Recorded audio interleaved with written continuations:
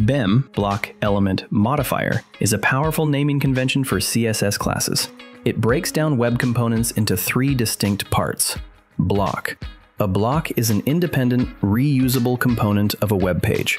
It is a standalone entity that is meaningful on its own. Examples include header, list, menu, and form. Element.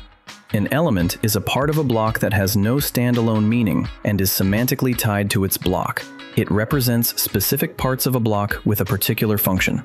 Examples include header title, list item, menu item, and form input. Modifier. A modifier indicates a state or variation of a block or element. It changes how the block or element looks or behaves. Examples include checked, disabled, size big, and color primary. Suppose you have a card component in your application. In this component, the card is the block, the image, description, title, and button are the elements of that block. The color variation called primary is a modifier. BEM structures class names using a combination of blocks, elements, and modifiers, along with underscores and hyphens.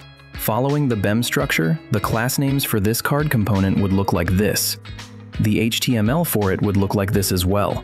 Notice that card content and card button group are also elements of the card block. This shows elements can be nested within each other as blocks. And when you have two or more words in a name, you use single hyphen to separate the words.